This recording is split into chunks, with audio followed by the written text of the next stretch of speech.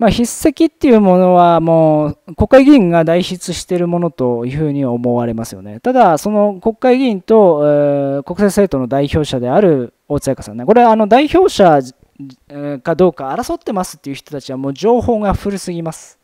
情報古すぎすぎます。ね。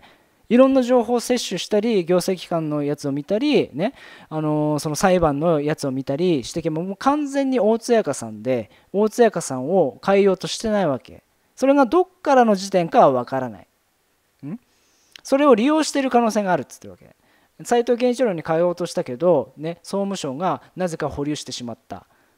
だからそれをいいことに、政党女性法のやつは変えない。変えないでそのままやってるだからどっからあの利用してるかもしれないし、まあ、その事象を最初から予定して動いてるかもしれないしそれはちょっとわからないんですけど簡単に言うと大津彩香さんで代表権はもう決まっていて大津彩香さんのところに党は行くと。要は代表権と登記はそのまま変更できませんよと、99%変更できますよって言っているのはそれは表向きで実際はもうほぼもうこれ通らないだろうなって思いながらよっしゃみたいな変更時取らなかったよっしゃーみたいな感じでおそらく言ってるわけですよ。じゃあそれがどっから始まってるのかっていうのはハンコなんですよ。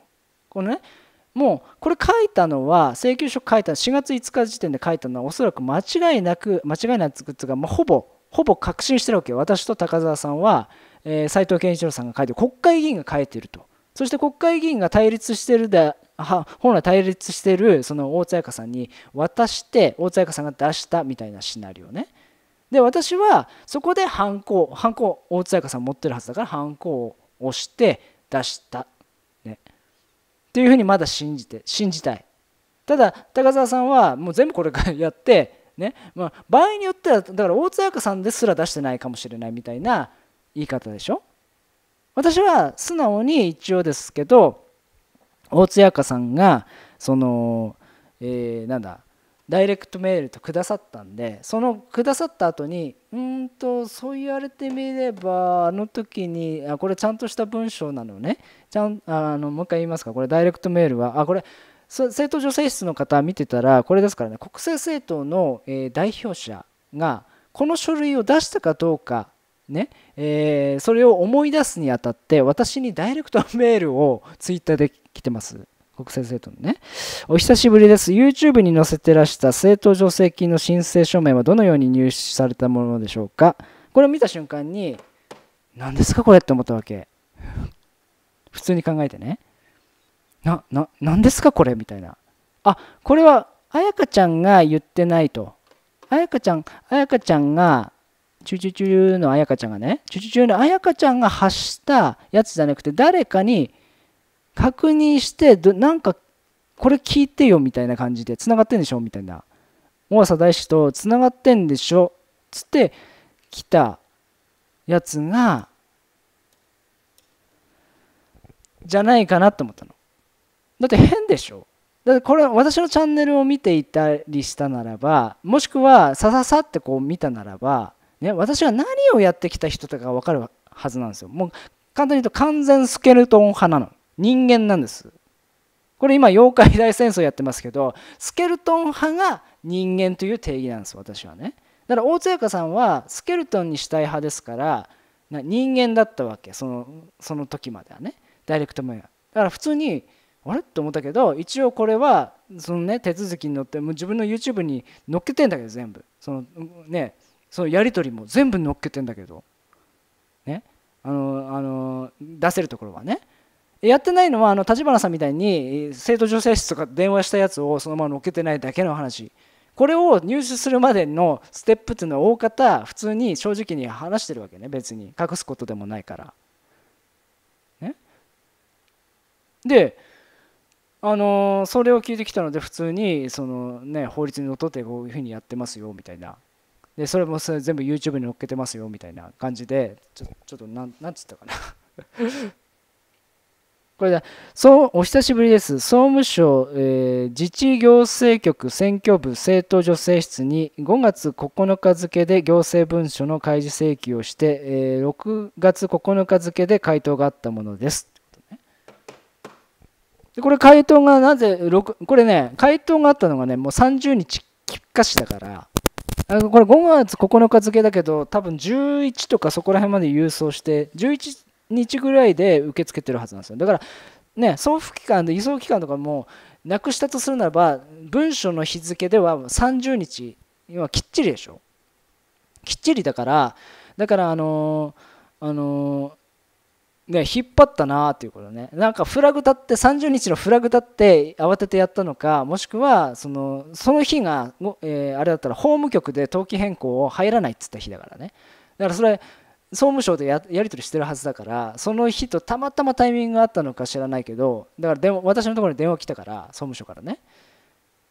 だからまあそういう形でちゃんとしたものですよって大津彩香さんに送ってやったならばその何時間後か分かんないけどもねにあの私が出したものと思いますみたいな斎藤さんは関係ありませんっていうそうわけわかんないツイッターやったわけでしょ？そもそもはね。それを多くの国民が見てんってなるわけよ普通に考えたら。あれって。まずそもそもハンコ持ってたのはね大津彩香さんですハンコを返さない女っていうふうに立花さんからレッテルを貼られてるわけでしょ？ハンコハンコを返さない、ね、やめますって言ってるけどちょっといろいろ弁護士さんと相談してそしてねハンコは返さない。でハンコを返さないからねおえもしあのあれですよ。これ請求書なぜこれやったかっていうとハンコを大津彩香さんサイトで持ってるわけでしょ？ね。でそれが私はですね交付されたっていうニュースがあったでしょ。これやってるのは分かってたわけ。ね、それ多分 YouTube で動画作ってると思いますけど20日に交付されたという事実自体でフェースが変わったなと思ったわけ。で20日に交付されたということはもうそれまでの手続きがちゃんと行われてるということだから。ね。その時に代表権を争ってるっていうのは分かってるからあのだからその瞬間にあえー、浜田聡君と斉藤健一郎さんの公職選挙法違反が確定したなって思ったわけ。で私は3年間ぐらいやってきても犯罪犯罪だって断定的に言ったのは初めてなわけ、ね、国会議員が犯罪を犯したっていうのは暫定的に言ったのは初めてなの。だから、えー、ね、国民の義務として神奈川県警に通報したわけ。警察にわざわざ電話してね。まあその時に私のアンチがやれやれ言ってたから。私のアンチが小倉美咲さんの時からやいたアンチがやれやれ言ってたからやったわけ。ね。別にその動画さえ作っておけば見る人が見たら私じゃなくても通報してると思うけどね。わかりますか？まあいいんだけど。だからそのその時に、えー、疑問になってくるのは皆さんハンコですよねこの陰影のね。だからここを開示できるかもしれない。だからファーストステップが行政不服審査法セカンドステップが裁判ですね。で裁判だと私やったこともないし素人だからだから大津組にぜひ参戦していただきたいんですよね。なぜかというと大津彩香さんが嘘をついている可能性があるわけ。もしくは嘘じゃないとしても、ね、かなり曖昧なことを言ってるわけ。この大事な手続きにおいてね。政党交付金の請求手続きというものに関してかなり曖昧な発言をしてるわけです、ね、私が誰かが書いて私が出しましたって言えばいいはずなんです普通に考えたらね。いいですか？これ高澤さんも指摘してましたけど、ね、例えばさ、ね、斉藤健一郎側が、ね、だから手続きとか分かんないから斉藤健一郎側とか立花隆側が全部その書面のそういうのをやっておいてそしてこれ出さないと、えー、まずいから要は政党交付金が来ないからみんなお縄になるわけでしょ？ね？詐欺詐欺罪としてみんなお縄になっちゃう可能性があるのでだからあのねこの手続きをやって、えー、ハンコを渡さないんだったらこれだけは出しておいてねってこれ出さなかったら大津彩香さん含め詐欺罪でやられるかもしれませんよって言えば出すわけでしょ？でそういう大事なイベントを覚えてない方がおかしいですよねって高田さんも言ってるし私もそうなってるわけね。でそもそもが最初に言ったのは私の字じゃありませんって言ってるわけ。ね、じゃあ私は字じゃないのはそれも確定してるわけ高澤さんも私もね。それは信じますと。ね、でこれは、えー、大津彩香さんの字じゃないんですね。じゃあ誰の字ですかっつったら、まあ、我々の分析では、まあ、ほぼ間違いなくこれ我々の分析ね。ね。証拠はないよ。証拠は斎藤健一郎さんのインスタグラムとかフェイスブックとか YouTube に書かれてる字ともうそクリソツです。クリソツ。ね、これ違いますっていうのは難しい。で今更ですね違いますとか、えー、私の字ですって言ったら逆に怪しいからこうなってまで、えー、怪しいでしょ？ね、俺言ったら言ったで怪しいから多分無視すると思うのね。その証拠に、ね、急に工作員の数がガクンと減るわけ。もう10半分以下になるわけ。ね、1万再生とかしたやつがいきなりもう100歳、だからもう見見ちゃダメ。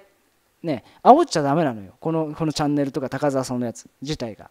だから今、高澤さんのとことか増えてたり、私のやつがまあ微減、減少していきますけど、減少していくはずなんです。で、高澤さんの方増えてると思いますけど、その方々は本当の真実を知りたい人だじゃん。で、私のところに一瞬増えたやつとか、その、えー、筆跡、斎藤健一郎さんが筆跡じゃないですかとかって、わーってね、何言ってんですかとかね、何告発してんですかとかって言ってきた、えー、やつらはほぼ工作員なんです。それは工作員か確定なわけ。ね。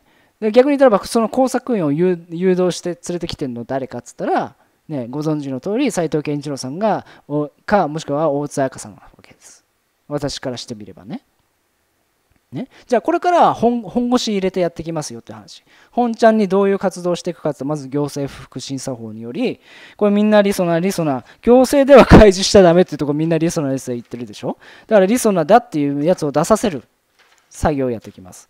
出したら正々堂々とリソナに対してその行政文書をもってしてね。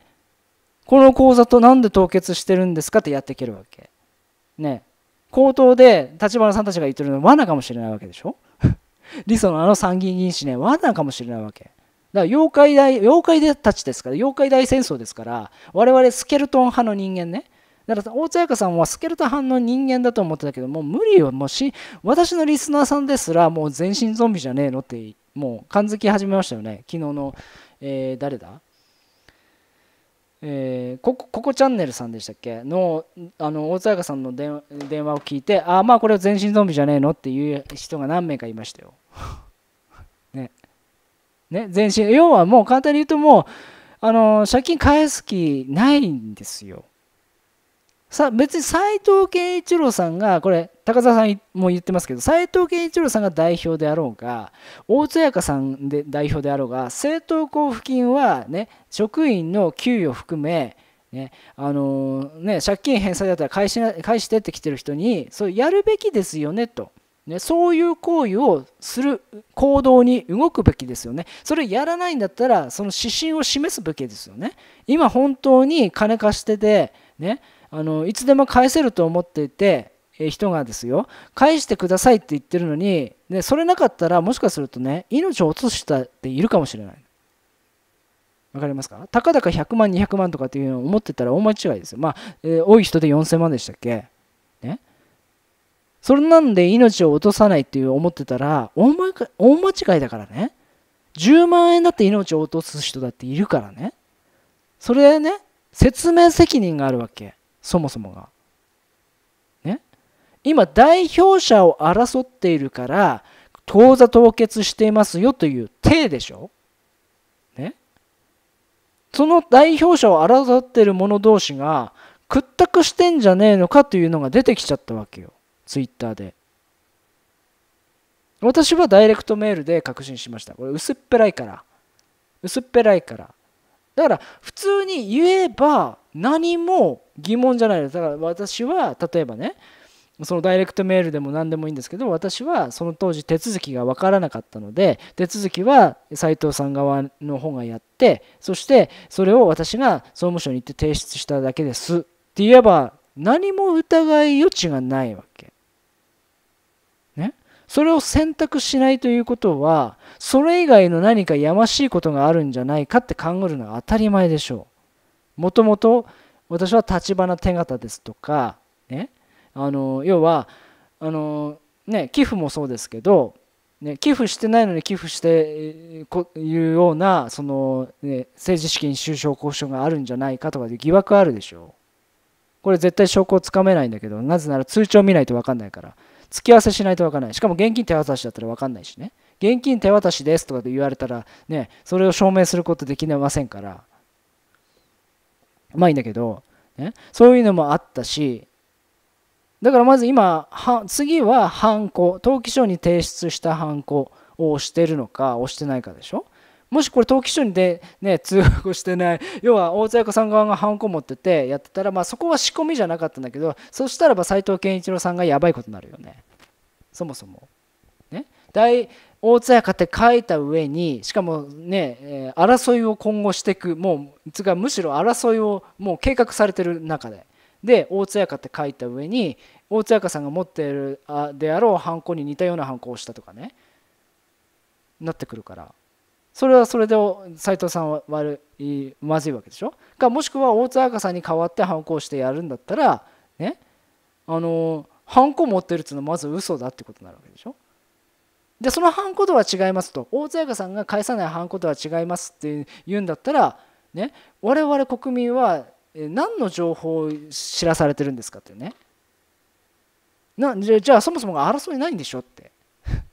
ね、裁判所も何もかもが認めているしそういう争ってる痕跡が見えないんだったら争ってないわけでしょ。なんで口座凍結してるんですかってなるわでその時にはじゃあこのハンコがまず法的に大丈夫なのかどうかを国民はチェックしたいからこれねダメあの不開示にしたいやつに不服がある場合はやれるわけでしょ？じゃあ不服があるからやりますよって話。でついでにリソナもリソナってちゃんと出してもらいますよって。不服があるから。ね？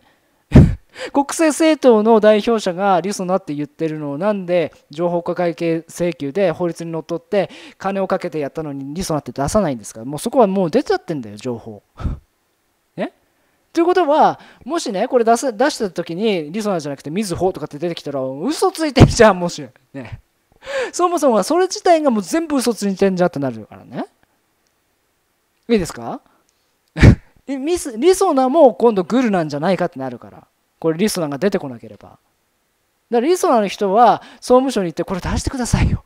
国民に出してくださいよっていうね言わないといけないわけ。これもしみずほとかって出てきたらね巨大な妖怪大戦争で11億円を詐欺していたかもしれない話になるんだよ。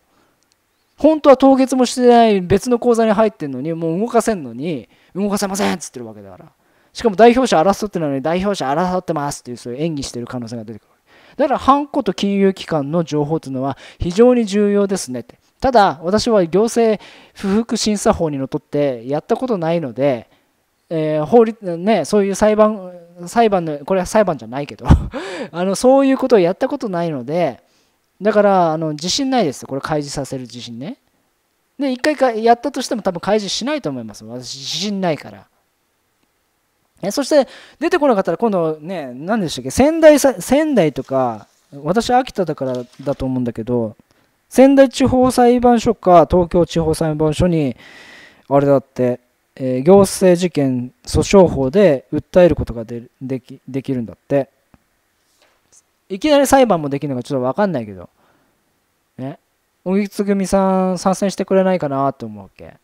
ね、弁護士さんいるわけでしょ？賛成してくれないかな？これ、大津彩子さんが嘘ついてる可能性ありますよ。これ、踏み絵ですよ、踏み絵。ここまで堂々とね、大木つぐみさんとかにこういうことをやってって、協力してくれないかな、高澤さんの選挙応援には協力して、なぜね、高澤さんが今これやろう、ね、私とこれやろうとしてるわけでしょ、高澤さんも。ね。本来は高澤さん哲学のことは発信したいんだけどあまりに大津彩香さんと話した感じがんって思ったからその動画を仕方なく配信してるわけですよ。国民、一国民としてね。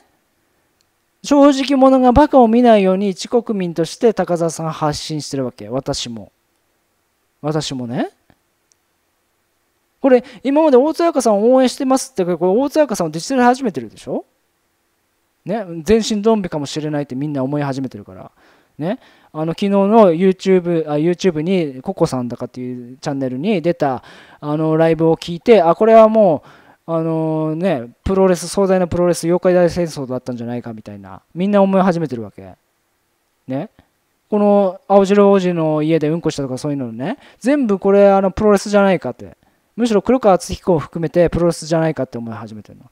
ね借金返したくねえからじゃねえかって回答し回答しようとしてんじゃないかって自分たちの国政政党としての責務を逃れようとしてんじゃないかと立花さんがね10.54億円を借りて、私からしてみればどっかに プールして、そのプールしたやつから黒川敦子とかに流れる可能性があるからね。回答して、借金返せません、回答して、そしてそのプールしたやつをやるんじゃねえかとかね。そういう議員が出てきてるわけ。これやばいよね。今まで前例ないんじゃない？国政政党がね、政党交付金を原資として借金募っておいて、そして最終的に回答するっていう。NHK 問題は実質解決しましたって国会議員が言い始めて、ね、昨日か一昨日か私のところに電話くださったアプリ会員の党員、NHK 問題全然解決してませんって言ってましたよ。いい加減黙くらかすのやめたらいかがですか ?NHK 問題やりなさいよ。青汁の王子のの家の前、家の中でうんことか関係ねえんだって。NHK 問題やれっつうの。ね。で、NHK 問題は口座凍結してからできませんっていうわけでしょ？NHK 問題口座で凍結してからできません。請求代行サービスやってくれる司法書士さんいなくなったからできませんでしょ？マリノちゃんいなくなったわけでしょ？ねそうそう言うと N 審はこう言ってくるわけでしょ？いやいやいや、あのー、NHK のその受信規約が変わったんで、えー、これからなんか割増金とかあの遅延金ね、えー、期前の2%のやつが来るから、ね、140万超えるかもしれないんで、だから弁護士さんになったんですって言い始めるでしょ？じゃあ実態、実態上いくらどういうさやつをやってるんですか？そういうことできるでしょ？立花さん、給働いてるんでしょ今？弁護士事務所のところでこう風切って働いてるんでしょ今？それ言うことできるんじゃん。一日毎日やってますみたいな。超暇そうでしょう。青汁の王子の家の前に行ってこうやってビデオ撮って。暇じゃないの？請求代行サービスのあれのね、給料もらってるんでしょ？ね、弁護士さんの事務所かなんかでもらってて、風切りとかやってるわけでしょ？暇ですね。ね？黒川敦子さんのところに行ってこうやってなんかね、えー、自撮りの AV の男優みたいな感じでこうね ビデオ撮りながら暇ですね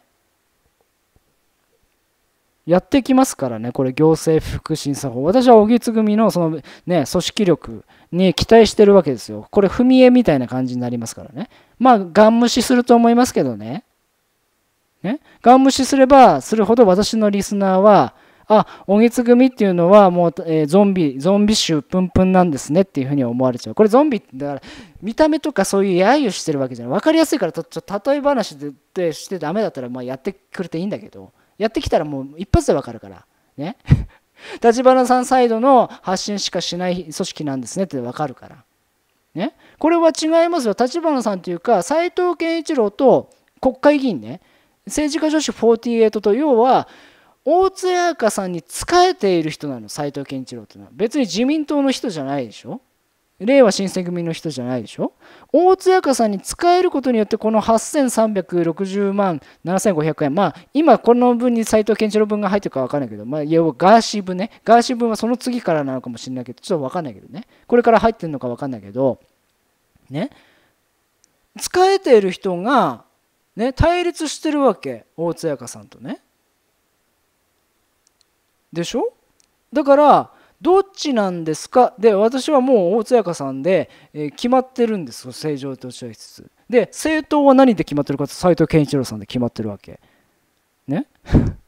政党の代表者は斎藤健一郎だ。選挙前のやつも全部斎藤健一郎さんでいい。実態上何も引き継いでないから大津彩香さんはね。だから登記上だけ政党助成法だけ。でなぜか政治資金規正法のところは保留。でも保留っていうことは公開されてないから総務省のそのね、公開する政治資金規正法上の中で公開しないといけないから組織変更した場合には。国民に知らしめないといけない総務省が。それやってないから。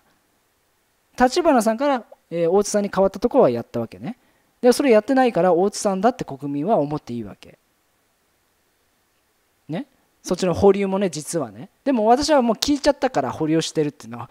電話で聞いちゃったからだからあのそっちは疑義があるんでしょう。それはね。でも本当であればこれ手続き上通して斎藤健一郎が、え、政治資金規正法上のやつでそのね申請あったから通してそして政治政政党女性法上の代表者が大津彩香ここで初めて対立してますねと国民が見れるわけ。そっちはやってないわけ。だからうまく使ってんじゃねえのかって思ってるわけ。立花さんサイドがね。その総務省の動きを見ながらこう来たらこうあらかじめ。サイトで通したならばこう。サイトで通さなかった保留とかしたならばこう。ね。今までの経験ね。自民党の通称自民党の話とかもあったでしょ。ああいう形で。こう来たらこうをやってってるだけでしょ。